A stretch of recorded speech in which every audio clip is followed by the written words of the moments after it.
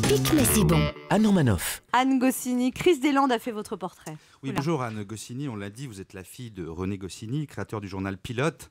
Matin, quel journal? Et papa d'Astérix. Il y a plus de 50 ans, Cuderzo et Goscinny, les Lennon McCartney de la BD, ont imaginé les aventures du plus célèbre des Gaulois. Le petit Polac et le Rital ont réussi à capter l'essence de l'esprit français et après tout, c'est ça la France. Un conglomérat hétéroclite de diasporas successives qui forment un peuple unique au monde, un peuple râleur, flemmard, ingénieux et joyeux dans le fond, sous des abords hautains. Astérix, ce petit français râleur, bagarreur fidèle en amitié, fait désormais partie de notre patrimoine, au même titre qu'Edith Piaf, Zidane, De Gaulle ou Belmondo. Et pourtant, au début, c'était pas gagné. J'imagine votre père allant pitcher le truc à un éditeur. Alors, euh, bon, c'est l'histoire d'un couple.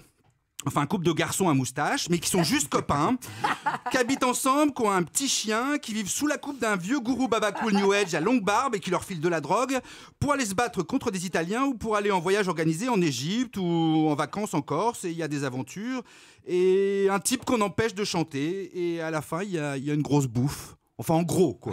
Ça marchera jamais, quoi. Voilà. Ah ouais, Ah bon, Ouais, non, ça marchera Ah bon, jamais. Dit comme ça, c'est vrai que ça fait plus penser à un documentaire sur la vie de Freddie Mercury en tournée qu'à un succès d'édition.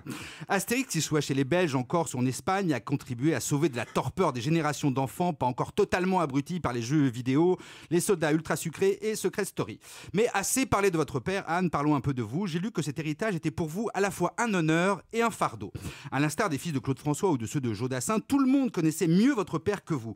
Cette blessure, vous avez appris à vivre avec et vous avez pris votre envol en devenant une écrivaine reconnue tout en surveillant attentivement l'héritage moral des œuvres de votre père. Je suppose qu'on a dû tout vous proposer.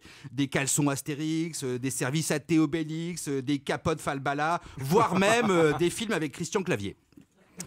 Mais vous avez résisté en bonne gauloise que vous êtes pour préserver ce trésor national et ce midi je vous en remercie, madame. Europe 1, ça pique mais c'est bon.